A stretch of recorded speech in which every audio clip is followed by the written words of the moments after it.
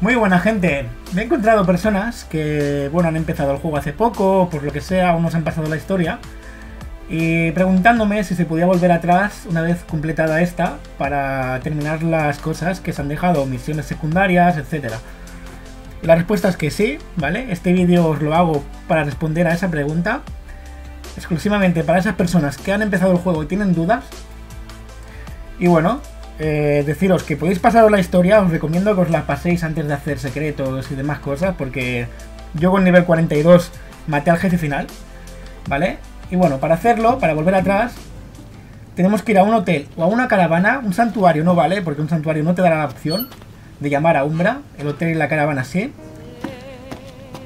Nos alojamos y cogemos la opción de llamar a Umbra.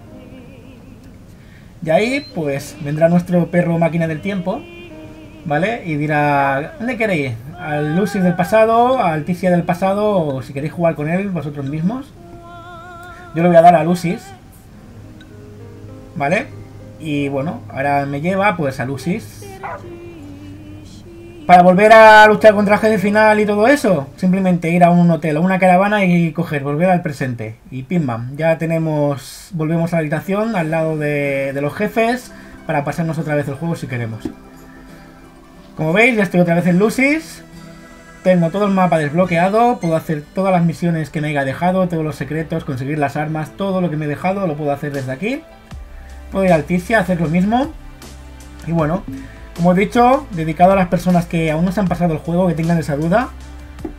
Y bueno, por eso hago este vídeo, para que la gente mmm, lo tenga bien claro.